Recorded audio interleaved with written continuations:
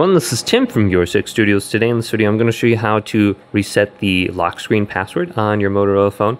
So you can easily reset it by factory resetting your phone just by holding down the power button and the volume down key right here. If you hold these down together, it's going to force turn off your phone.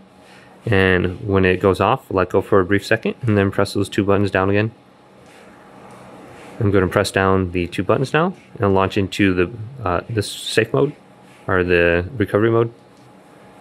Go down with the volume key, press power on recovery mode, and then your phone's going to restart.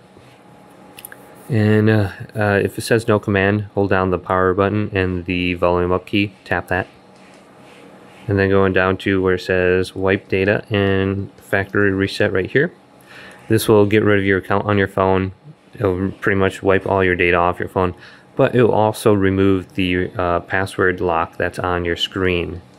So you're going to have to sign back in uh, with your email address and password for Google or whatever that you're using, and all your photos will be deleted. But you'll be able to unlock your phone if that's the only way you can do it on your device. So hopefully this video did indeed help you out. If did, leave a big thumbs up and subscribe my channel down below.